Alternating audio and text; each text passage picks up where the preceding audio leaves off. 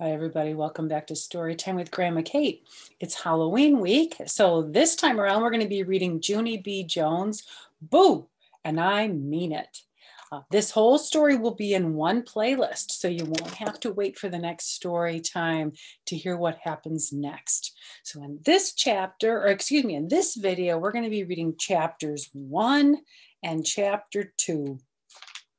Chapter one is called Secrets. Remember, Junie B is a first grader in this book, or in this series of books. And so she starts off every book with a, a journal entry. So this is how it starts.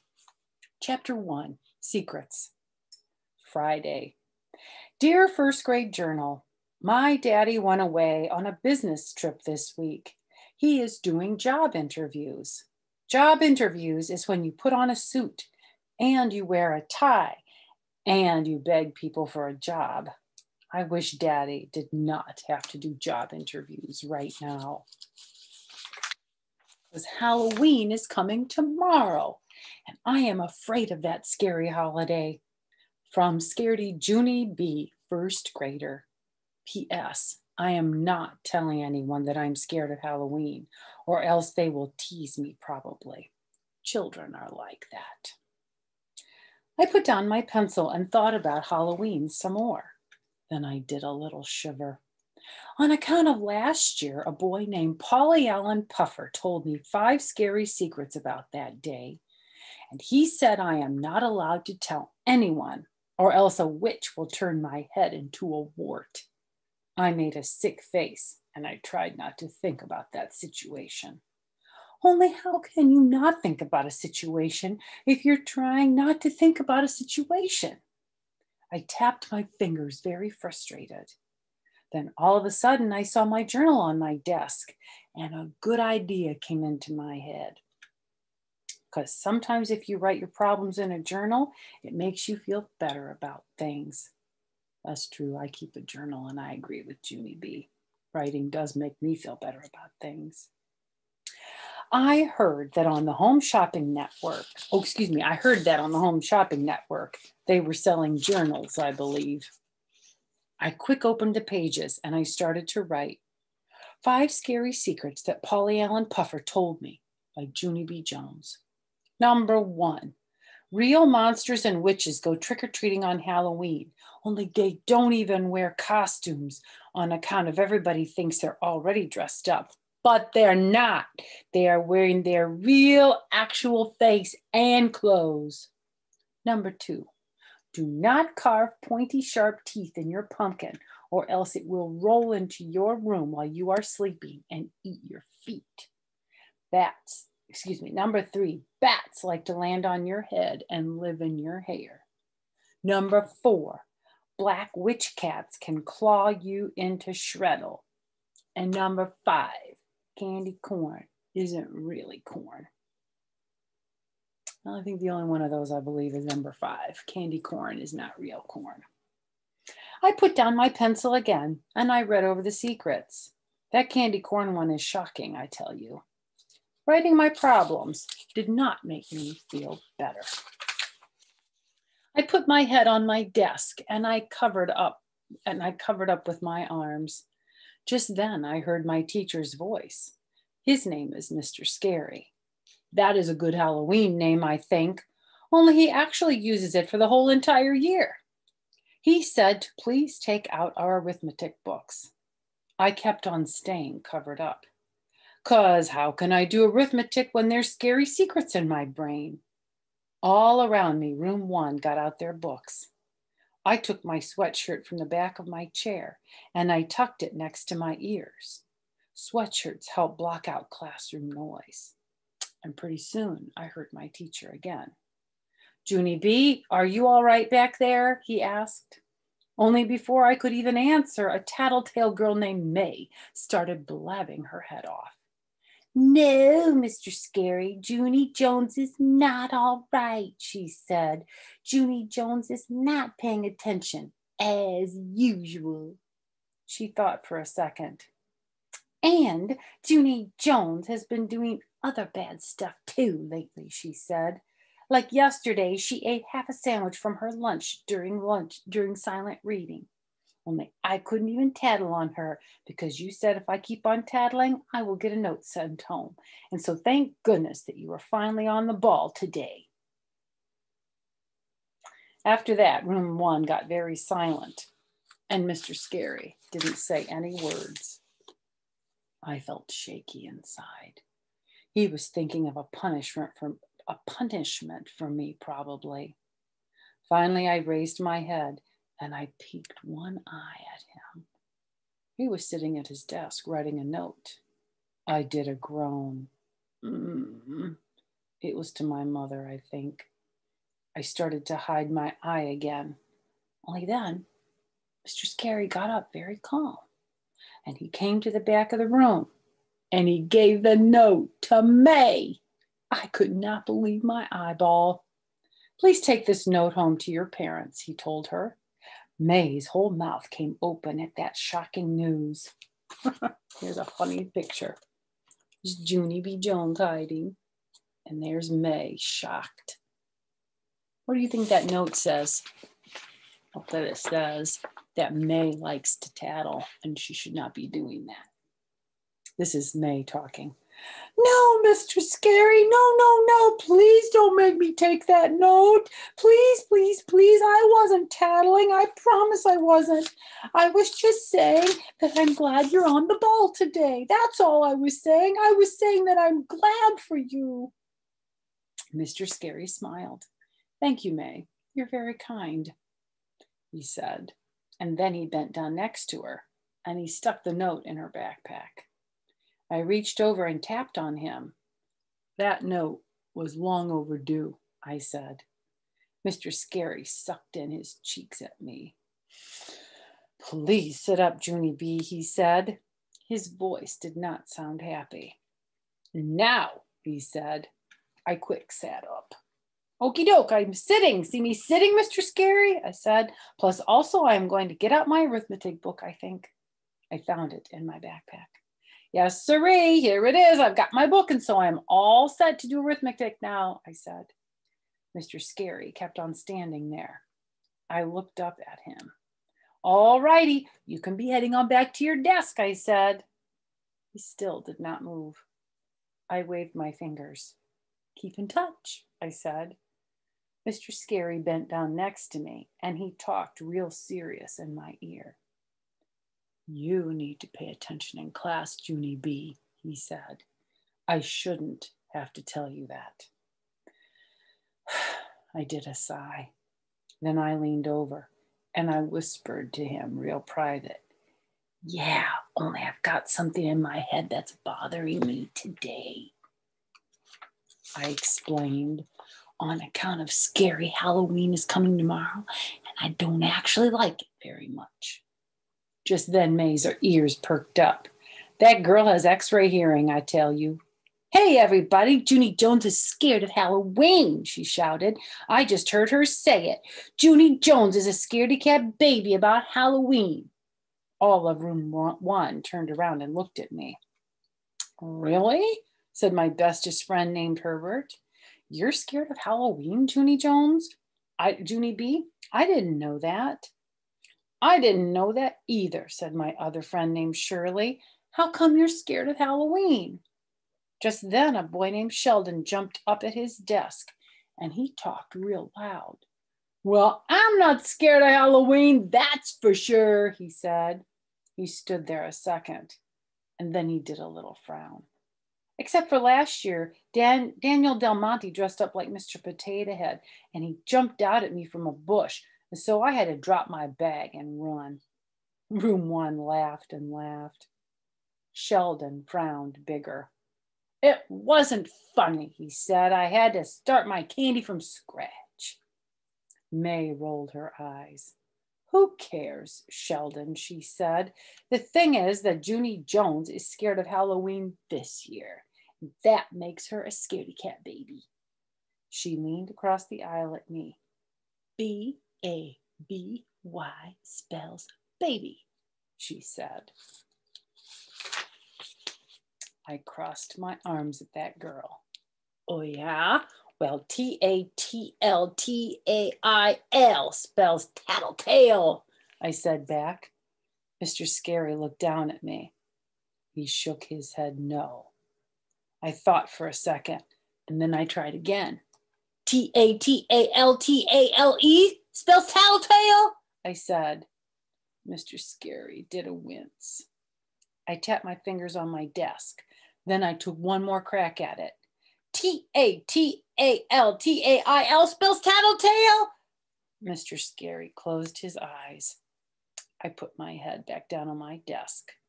He covered me up with my sweatshirt, and I appreciated that. Are you scared of Halloween? Do anything does anything in Halloween scare you?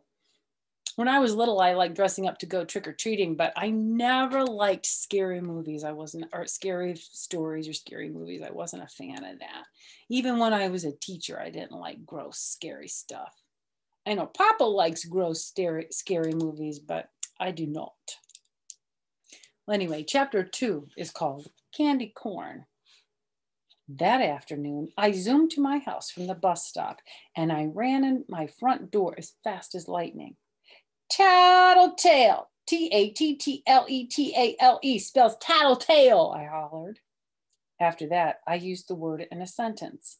Tattletale, May is a big fat tattletale. I heard my grandma's voice. Junie B, honey, is that you? She called. I'm in Ollie's room. Come back and see us. I circled my hands around my mouth. Okay, I hollered again. Okay spells okay. After that, I hurried back there very fast and I hugged my grandma real tight. Did you hear me spell tattletale? I said. I looked that word up in my dictionary at school on account of May tattletaled on me today. Grandma Miller was changing Ollie's clothes. She shook her head at that news. Oh dear, not more trouble with May, she said. Honestly, Junie B, you're just going to have to ignore that girl. I crossed my arms. Yeah, only how can I even ignore her when she calls me a scaredy baby? I said. She told all the children that I am scared of Halloween, Grandma. Only if May knew that knew what I know about Halloween, she would be scared too. Grandma looked curious at me. What are you talking about? She asked. What is it that you know? I swallowed very hard. And then I made my voice quieter. I know five scary secrets. That's what I know, I said. Only I'm not even allowed to tell anyone, or else my head will turn into a wart. Chills came on my arms. Paulie Allen Puffer told me that, I whispered, even softer. Grandma Miller wrinkled her eyebrows. Paulie Allen Puffer, she said. Wasn't he the boy who told you that a monster lived under your bed? I nodded my head. Yes, that's the exact same Paulie Allen Puffer, I said. He knows lots of scary stuff, Grandma. On account of Paulie Allen Puffer has a brother who's in eighth grade, and eighth grade is almost as old as a grown up. Grandma did a little smile that's not really that old. Eighth grade is like 13, 13 or 14. And really, a grown up, I would say at least is in their mid to late 20s. I didn't really grow up until I was in my 30s in some ways. In some ways, I'm still not grown up. That's why I like Junie B. Grandma did a little smile. And then she finished buttoning Ollie's sweater and she put him on the floor to, to, walk to me. Ollie does not walk that professional. He teeters and totters and weevils and wobbles.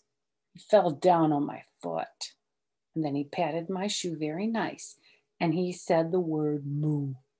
Moo is Ollie's favorite word. He is not the sharpest tool in the barn. That means he's not real smart, but he's just a baby. He's a smart baby. He just doesn't know a lot of words yet.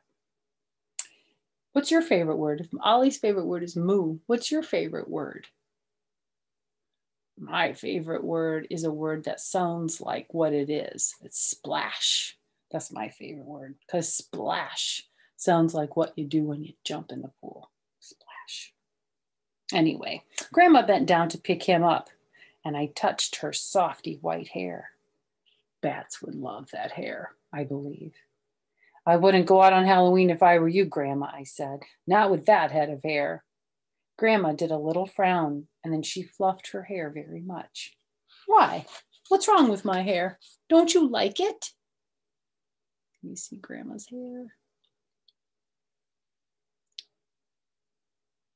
I sometimes put my hair up like that, but it's not all the way white yet. I got a little white in it, but not a whole lot of white. I zipped my lips shut because I said too much already, I think. Grandma Miller fluffed some more. Speaking of Halloween, your mother is coming home from work early today, and she wants to take you to the store to buy your costume. Just then, more chills came on my arms. I started backing out of Ollie's room very slow. Yeah, only I might not want to buy my costume today, I said. I might want to buy it tomorrow or the next day or uh, never, possibly. I kept on backing up. Okay, well, I think I will go take a nap now, Grandma. And so when Mother gets home, please tell her not to bother me. I did a salute. Thank you and good night, I said. After that, I turned around and I ran to my room and I closed the door real quick. A second later, I opened it a tiny crack. Yeah, only don't forget what I told you, I called. Do not go out with that head of hair on Halloween because that is just asking for trouble, Helen. Grandma Miller called back at me. She said, Please do not call her Helen. I shut my door again. And then I picked up my favorite stuffed animal named Philip Johnny Bob and I hurried to get in bed. If we pretend to be asleep, maybe I won't have to go to the scary Halloween store with mother, I told him. Philip quick pretended to snore. I tapped on him.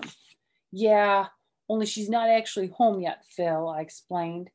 Plus, I need to tell you the five scary secrets because I can't tell them to real actual people, but you don't count probably because your ears aren't really real. Philip Johnny Bob felt his ears with his front foot. Really? You're kidding me, he said. My ears aren't real? Are you sure? Because they really, really feel real, don't you think? I felt his ears. Yes, Philip, they do feel real, but they're just made out of cloth. Philip Johnny Bob kept feeling his ears, and so finally I had to take his foot away. After that, I made my voice go into a whisper, and I told him the five scary secrets. First, I whispered the secret about the monsters and the witches. And then I whispered the secrets about the bats and the pumpkins and the cats. And finally, I whispered the secret about how candy corn is not actual corn. His mouth came open at that one. Oh, no, he said, that can't be true. Candy corn has got to be corn. It has corn right in the exact name. Plus, it even looks like corn, kind of. And so, if it isn't corn, what kind of vegetable is it? I did a shrug. I don't know, Phil, I said. It can't be peas because peas are roundish and greenish. Right, said Philip. And it can't be carrots because carrots are longish and crunchish. We thought some more. Hmm. Hmm. then both of us looked at each other. Maybe Paulie Allen Puffer's big brother is wrong about the corn, I said. Yeah, he's got to be wrong, said Philip. Candy corn is definitely corn. There's nothing else it could be. I nodded, but the scare but the other scary secrets are true, I bet. You can just tell they're true by the sound of them. Like, why would a real actual monster put on a costume if he already looks like he's wearing one? I know, said Philip. And the pointy, sharp pumpkin teeth make sense too. Because what good are pointy, sharp teeth if you can't eat feet? Right, I said. And you know that bat and cat secrets are true too. Because what bat wouldn't want to live in Grandma's softy hair? And witches' cats can definitely claw you into shreddle, said Philip. I don't know what shreddle is. Like shred, like to shred something means to tear it up. So I guess Junie B thinks shreddle is like something that's all torn up. That makes sense. Philip looked at me. Maybe you shouldn't go trick or treating this year, Junie B, he said. Maybe you should just stay right here with me, all safe and sound, right in your own house. I hugged him very tight. that elephant is very supportive. And there's Philip Johnny Bob. I love these imaginary uh, conversations she has with Philip Johnny Bob. There's another book where, and a Junie B book where she talks with him. I think he's a very understanding elephant. so, in our next chapter, in our next story time, we're going to be reading chapter three that's called Squirty. I wonder what squirts in chapter three. And then chapter four is called The Halloween Store. Junie B will be going to the Halloween store after all with her mom. So stay tuned for the, the next two chapters or take a break and come back whenever you're ready. Uh, but in any event, let me know in the comments below what you're going to be for Halloween this year. I can't wait to see. So until our next story time, have a great day. Bye-bye.